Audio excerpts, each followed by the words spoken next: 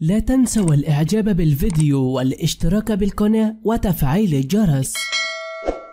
أخبار العراق. الآن عاجلة فضيحة جديدة في مطار النجف. طردوا المسافرين لسبب غريب.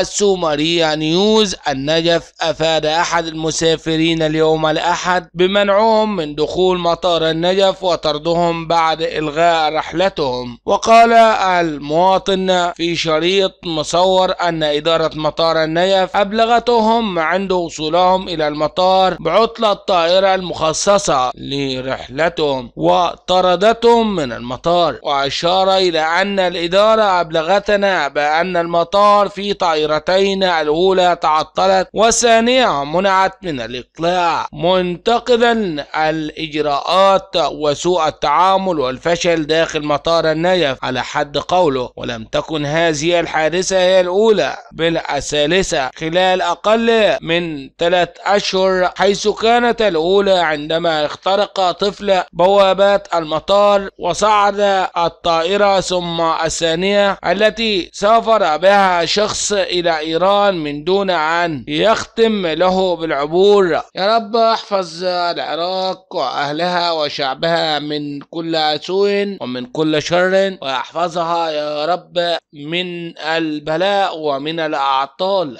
في المطار. لا تنسوا الإعجاب بالفيديو والاشتراك بالقناة وتفعيل الجرس.